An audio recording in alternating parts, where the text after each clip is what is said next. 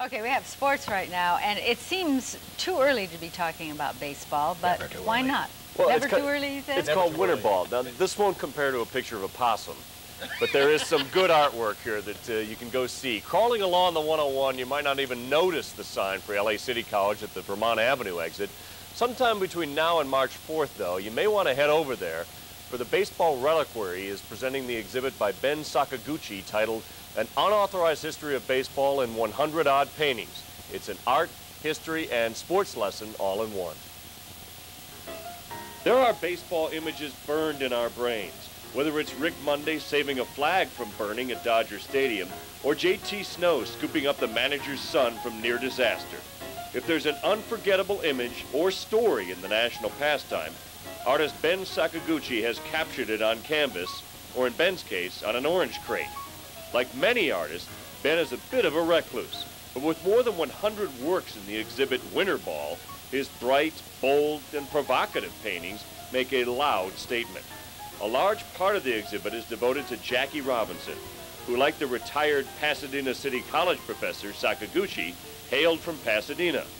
Friend and LA City College professor La Monte Westmoreland helps interpret some of the Robinson themed material. And then over here, we have when Jackie went to the Brooklyn Dodgers, uh, all these players, and most of them were from the South, they didn't want to have anything to do with playing with them.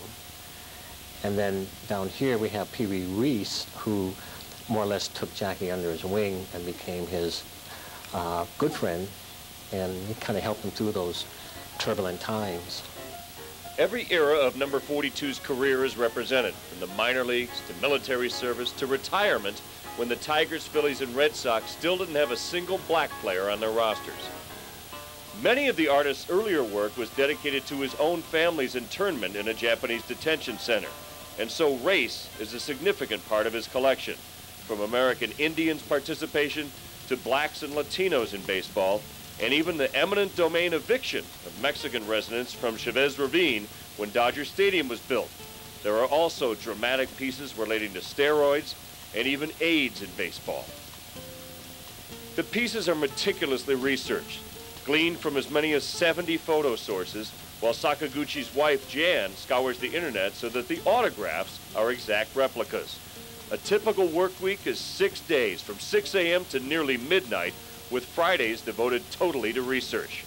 And while that research lends a bite to many of his works, there's always a sense of humor, sometimes hidden in the make believe and true to life California towns devoted to the orange crates of his youth and the family grocery business.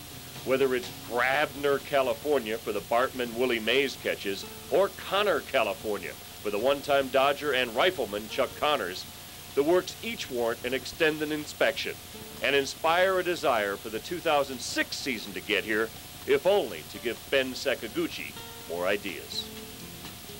Again, it runs through March 4th at LA City College in the library there, and uh, if you're interested, 1600 bucks for one of those, and they're for sale. He sold about a third of them already. That is amazing. It would be wonderful to go see that. Yeah, it was just great. I loved it. So unique. Had a lot of childhood memories just watching There you that. go. Yeah, that was Thank great. you.